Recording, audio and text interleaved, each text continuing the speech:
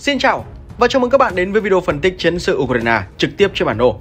Trong video này, chúng ta sẽ cùng bàn về một cuộc tấn công hè sắp tới từ phía Nga để có thể bao quát toàn bộ chủ đề rất rộng này.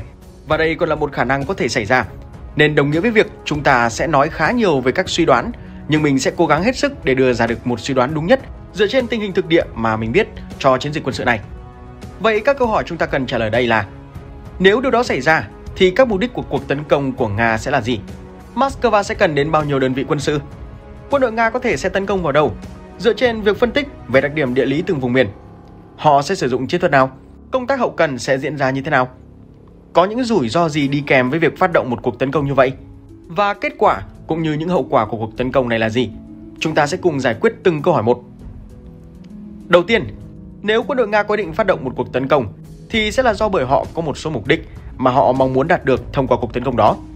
Do vậy nên chúng ta sẽ phải xem xét tình hình chiến sự hiện tại, có hay không sự chênh lệch lực lượng hai bên và những chuyện gì sẽ xảy ra trong những tháng vừa rồi để xem xem tại sao quân đội Nga lại có ý định phát động một cuộc tấn công. Mở đầu ta thấy rằng trong vòng khoảng một nửa năm qua, tình hình cuộc chiến về cơ bản đã rơi vào thế bế tắc. Không có quá nhiều tiến triển từ cả hai bên và quan trọng nhất là quân đội Nga đã tập trung chủ yếu vào việc tiến hành các đợt pháo kích hơn là chiến đấu trực diện với quân Ukraine. Trong vòng 6 tháng qua, quân đội Nga đã cố gắng gây sức ép lên quân Ukraine, đặc biệt là ở Bakhmut, khởi động cỗ máy xay thịt tại đây. Cả hai bên đều đã mất đi rất nhiều đơn vị, nhưng đặc biệt là phía Ukraine đã chịu rất nhiều thương vong lớn ở cối xay thịt Bakhmut. Điều này chúng ta có thể tham khảo từ các dẫn chứng số liệu như Ukraine thì đã ít nhất là 50 đến 120 nghìn, thậm chí là còn nhiều hơn nữa. Tự trùng lại đều đưa đến kết quả Ukraine đã chịu rất nhiều thương vong tại Bakhmut. Vậy là về cơ bản, bên phía quân Ukraine đã phải chịu một thương vong cũng như sức ép rất lớn từ phía đối phương. Trong vòng hơn 6 tháng qua, thì quân đội Nga trong khoảng thời gian đó thì chủ yếu sử dụng nhóm quân đánh thuê Wagner và các đơn vị pháo kích để tấn công vào Ukraine. Như vậy về mặt tổng thể thì chúng ta đang có một tình huống mà quân đội Nga trong vòng 6 tháng qua đã nâng cao đáng kể sức mạnh chiến đấu của quân đội mình với việc huy động thêm rất nhiều đơn vị chiến đấu và gửi thêm những cỗ xe tăng tân tiến nhất mới sản xuất, đồng thời tiến hành làm suy yếu sức mạnh chiến đấu của quân Ukraine nhanh chóng bằng cách liên tục phóng các đợt tấn công tên lửa, UAV cảm tử, thậm chí là cả giải bom không ngừng nghỉ trong suốt 6 tháng vừa rồi. Rất nhiều cuộc giao tranh ác liệt đã diễn ra, rất nhiều cuộc pháo kích dữ dội, rất nhiều đơn vị quân Ukraine bị tiêu diệt và rất nhiều sự tăng cường quân lực từ phía Nga. Vậy khi nhìn vào tổng thể cuộc chiến và dựa vào toàn bộ thông tin ta có được, tổng hợp từ các bản tin cập nhật hàng ngày về cuộc chiến đó, ta có thể đánh giá rằng cán cân của cuộc chiến đang ở vị trí khá chênh lệch. Dù rằng theo ước tính, cả hai bên đều đang có một lực lượng gần như là tương đương nhau về thành phần trên tuyến, nhưng quân đội Nga sung sức hơn và vẫn đang nắm trong tay ưu thế lớn về hỏa lực. Vậy nên, họ sẽ có ưu thế thực sự khi tham gia vào trận chiến tiểu hòa này. Hiện nay cả hai bên đều có một lực lượng chiến đấu sẵn sàng ở phía sau chiến tuyến, nhưng chất lượng có thể sẽ không tương đồng. Quân đội Ukraine hiện có các đơn vị mới khá là tinh nhuệ, được tăng cường và nâng cao sức mạnh chiến đấu với các trang thiết bị từ NATO, cùng các khóa huấn luyện từ phương Tây.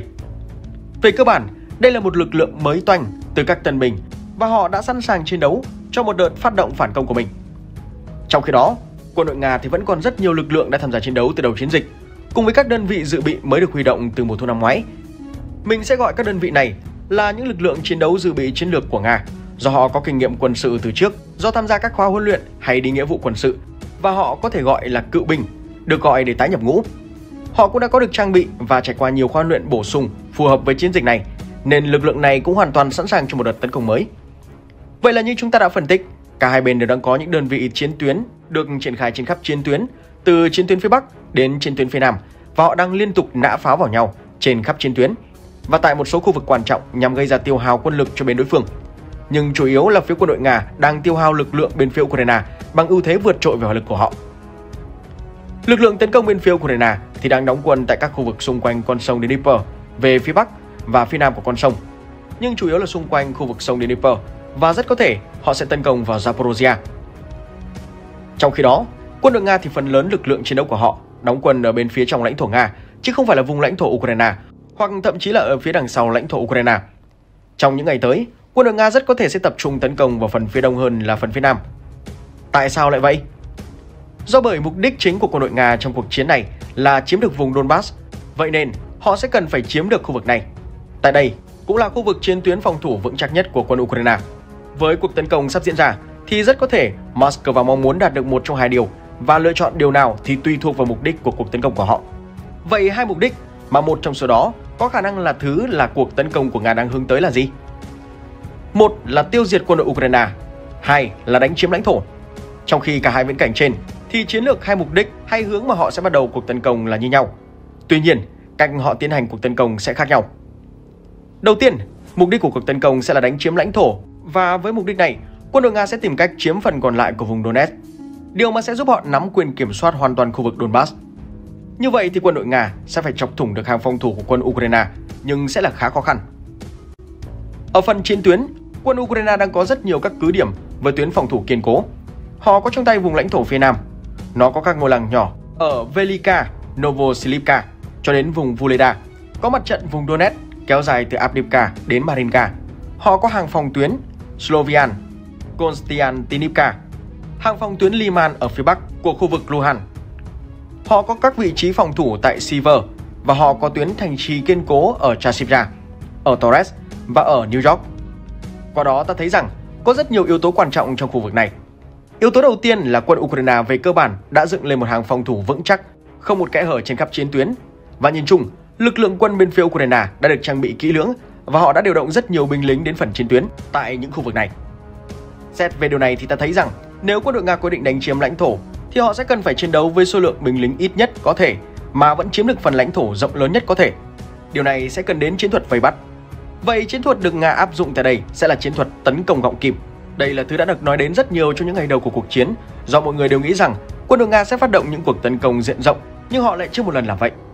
Tuy nhiên, giờ ta có thể quay trở lại với chủ đề đó, bởi quân đội Nga giờ đã tiến hành huy động và tăng cường quân lực, nên giờ họ thực sự đã có đủ khả năng để thực hiện các cuộc tấn công diện rộng. Giờ ta có thể xét qua về cuộc tấn công diện rộng. Nếu giới chỉ huy Nga muốn tránh phải đụng độ với các đường kẻ màu xanh này nhiều nhất có thể, thì phương án hiển nhiên ở đây sẽ là đi vòng qua chúng. Trong trường hợp này, quân đội Nga muốn chiếm được càng nhiều lãnh thổ càng tốt, và để làm được điều đó, họ sẽ cần hai thứ. Một là mạn sườn phía Nam và hai là mạn sườn phía Bắc. Sườn phía Nam là hàng phòng tuyến Vuleda. Quân đội Nga sẽ cần phải vượt qua được hàng phòng tuyến tại Vuleda. Và để làm được vậy thì họ cần phải tận dụng khu vực này, khu vực nằm giữa Marinka và Vuleda vì nó là phần khu vực có lác đác một vài ngôi làng nằm giữa hai thành phố lớn. Quân đội Nga sẽ cần phải tận dụng được lợi thế ở khu vực này và từ đó tiến công sang mạn sườn phía nam của khu vực Donetsk. Còn đối với phần sườn phía bắc, ta có thành phố Liman. Nếu quân đội Nga muốn giành quyền kiểm soát phần mạn sườn phía bắc này, thì quân đội Nga sẽ cần phải giành được quyền kiểm soát khu vực sông Seversky Donetsk, khúc sông chảy về phía bắc Slovian. Họ sẽ cần phải chiếm lại được thành phố Liman sau khi quân Ukraine đã chiếm lại được khu vực này hồi mùa thu năm trước. Tiếp đến, họ sẽ cần giành được quyền kiểm soát khu vực sông Oskin. Trong đó, họ sẽ nắm được quyền kiểm soát hoàn toàn phần mạn sườn phía Bắc. Tuy nhiên, vấn đề là ở đây, theo dõi từ các lần trước thì quân đội Nga đã gặp rất nhiều khó khăn trong quá trình tiến quân vượt sông và đánh vào mạn sườn ở khu vực Slovian. Do đó, thì rất có thể rằng sau khi quân đội Nga chiếm được mạn sườn phía Bắc, thì quân đội Nga sẽ thực hiện một mũi tiến công từ Bắc Mút vào khu vực Slovian từ phía đông và cắt bỏ tuyến đường liên kết với khu vực Siver Điều này sẽ cô lập Siver với phần còn lại của chiến tuyến và cho phép quân đội Nga tiến công trực tiếp vào vùng Slovian. Nếu quân đội Nga định dùng hỏa lực pháo binh tấn công vào Slovian từ phía Bắc và một mũi tấn công trực diện từ phía Nam, thì họ sẽ có thể tiến quân lên phía Tây. Đặc biệt nếu có, họ có thể thành công giành lại Izium, một thành phố đóng vai trò vô cùng quan trọng về mặt hậu cần do nó có tuyến đường kết nối sang Liman và sang lãnh thổ nước Nga và thành phố Izium, còn có con sông Siversky Donetsk chạy qua lòng thành phố. Vậy có nghĩa là nếu họ giành được quyền kiểm soát thành phố Izium, thì họ sẽ có thể di chuyển một lượng lớn binh lính qua sông Siversky Donetsk. Tóm lại, quân đội Nga sẽ cần phải tấn công vào Slovian, chiếm được Liman và phần phía bắc của sông Siversky Donetsk. Tiếp đó, họ sẽ phải giành được quyền kiểm soát Izium và sau đó họ sẽ tiến quân về phía tây Slovian và tấn công vào mạn sườn thành phố Slovian, đồng thời cũng là tấn công vào mạn sườn phần chiến tuyến. Và quân đội Nga sẽ cần phải thực hiện thêm một cuộc tấn công nữa ở phía nam, tập trung vào khu vực Pokrov Tại sao lại là tập trung vào Pokrov? Bởi vì nếu chúng ta xét đến ý nghĩa hậu cần của thành phố thì ta sẽ có thể thấy rằng Ukraine đang có hai tuyến hậu cần chính tiếp tế cho vùng Slovian. Một tuyến tiếp tế là tuyến đường dài đi vào Slovian từ phía Bắc và sau đó ta có một tuyến đường ở phía Nam đi qua Pokrov nên về cơ bản quân đội Nga sẽ phải giành được quyền kiểm soát Slovian và Pokrov và sau đó họ sẽ có quyền kiểm soát đối với tất cả các tuyến đường sắt đi vào và ra khu vực phía Tây Donetsk. Do đó, Mục đích chính của cuộc tấn công từ phía Nga tại khu vực Donetsk sẽ là Slovian và Pokrov. Trong trường hợp này, quân đội Nga đang muốn tiến công từ phía bắc của Volida và phía nam của Marinka để tiến quân vào Pokrov từ phía bắc và tiến quân qua đường biên giới vùng Donetsk từ phía Tây. Ở phía Bắc, họ muốn giành quyền kiểm soát khu vực phía đông Dnipro, kiểm soát Liman và Izium, sau đó tấn công vào mạn sườn của tuyến phòng thủ của quân Ukraine và tiến quân vào Slovian từ phía Bắc, từ phía Bắc Mút. Sau đó, tiến quân liên tiếp và chiếm khu vực Siver bằng cách cắt đứt và cô lập nó khỏi những khu vực còn lại. Trong trường hợp này, ta giải thích là quân đội Nga đều giành được thắng lợi trong các đợt tấn công của họ và rằng họ thành công giành được quyền kiểm soát Slovian, kiểm soát Pokrov, kiểm soát được Liman và Izium. Vậy thì khu vực Donbass sẽ thất thủ. Do quân đội Nga lúc này sẽ thành công cô lập và bao vây phần còn lại của khu vực cũng như là ngăn chặn mọi tuyến tiếp tế vào thành phố. Đó sẽ là mục đích của cuộc tấn công với tất cả các yếu tố chiến thuật, địa lý và không gian đều đã được xét tới. Giờ thì ta cần phải xét đến các lực lượng quân sự sẽ tham gia vào cuộc chiến, hậu cần và các rủi ro, trở ngại trong cuộc tấn công này. Bắt đầu từ công tác hậu cần, ta thấy rằng về tổng quan, quân đội Nga đã có rất nhiều tuyến đường tiếp tế trên khắp khu vực Donetsk. Họ cần cải thiện hơn nữa tình hình hiện tại bằng cách giành thêm quyền kiểm soát khu vực sông Oskin, vùng Izium và Liman để chiếm được mạn sườn phía Bắc. Nếu không thì họ sẽ không thể tấn công vào Slovian theo đúng như chiến lược đã đề ra và tiếp đó là ở phía Nam. Họ cần phải tấn công và đánh chiếm được các thành phố Vuleda, Marinka và sau đó là chiếm được toàn bộ vùng Donetsk bằng cách tiến công từ các ngôi làng của các vùng xung quanh như là Abdivka. Việc giành được quyền kiểm soát hoàn toàn đối với khu vực này sẽ cho phép họ sử dụng Donetsk như một trung tâm tiếp tế cho mạn sườn phía Nam này và cũng để họ có thể tiến sâu hơn vào các khu vực phía Nam Ukraine. Về cơ bản thì quân đội Nga sẽ cần phải chiếm gọn được vùng Donetsk, giành quyền kiểm soát tại Liman và Izium. Đó là việc cần thiết cho công tác hậu cần được diễn ra suôn sẻ và để cuộc tấn công này giành được thắng lợi. Về các trở ngại và rủi ro thì quân Ukraine đương nhiên cũng có lực lượng tấn công của riêng họ. Vậy nên, nếu quân đội Nga bắt đầu phát động một cuộc tấn công thì họ sẽ rơi vào tình cảnh mà nếu cuộc tấn công này thất bại thì quân Ukraine có thể mở một cuộc phản công với lợi thế có sẵn là quân đội Nga sẽ trở nên suy yếu sau cuộc tấn công hoặc họ có thể phát động một cuộc phản công vào chính xác nơi mà quân đội Nga sẽ phát động tấn công để làm phá sản kế hoạch tấn công của quân đội Nga bằng cách tấn công trực diện. Chiến đấu trên chiến tuyến thay vì bắt đầu phản công từ các vị trí phòng thủ. Tuy nhiên có một điều mình thấy thường hay xảy ra trong cuộc chiến từ lúc bắt đầu cho đến nay, đó là cứ khi nào quân Ukraine quyết định đóng chốt và phòng thủ thì họ thường phòng thủ tại các thành phố nhằm tận dụng đặc trưng chiến tranh đô thị để tạo lợi thế phòng thủ cho mình. Do vậy, nên nếu quân đội Nga có đối đầu trực diện với quân Ukraine thì khả năng cao thì bên họ sẽ là bên chủ động.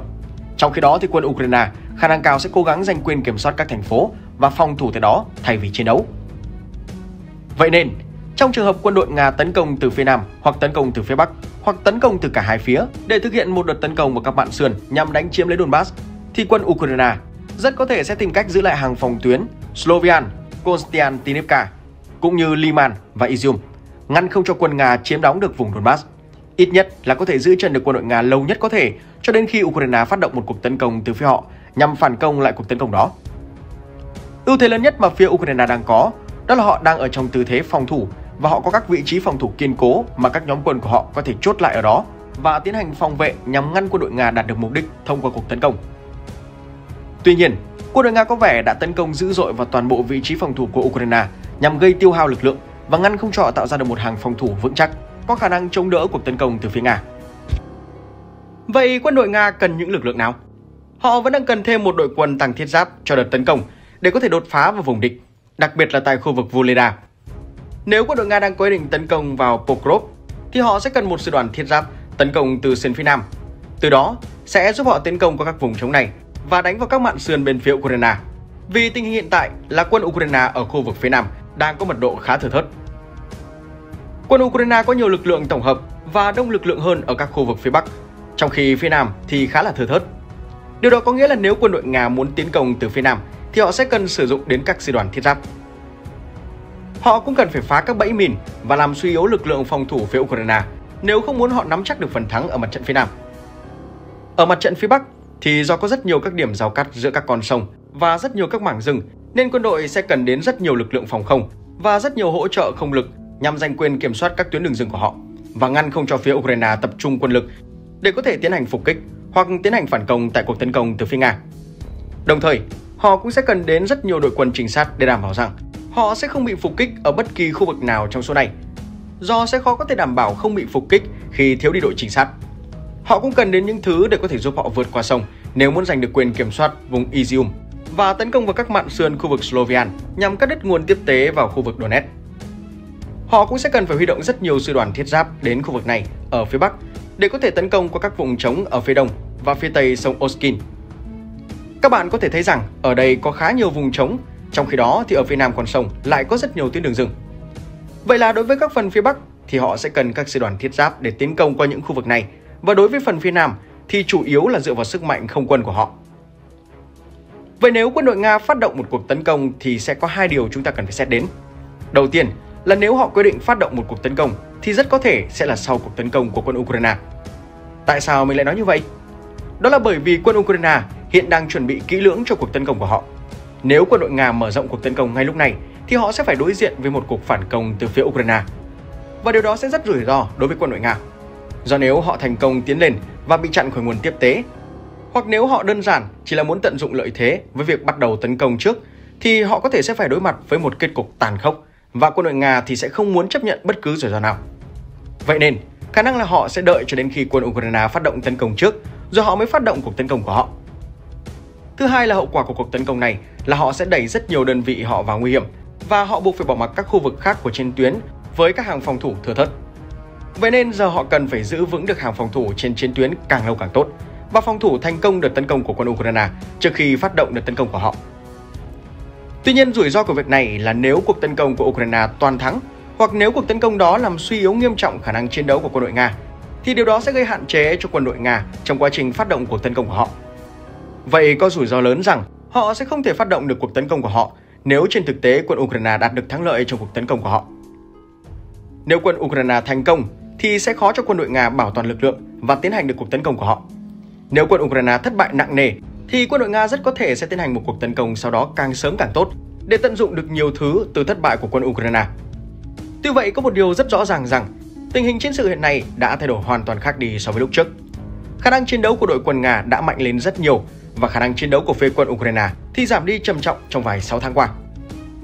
Vậy nên, rất khó để dự đoán được điều gì sẽ xảy ra và bên nào sẽ giành thắng lợi. Nhưng đây là bản phân tích toàn diện nhất mà mình có thể đưa ra cho các bạn. Bản cập nhật đến đây là hết. Cảm ơn các bạn đã quan tâm theo dõi và chúc mọi người một ngày tốt lành.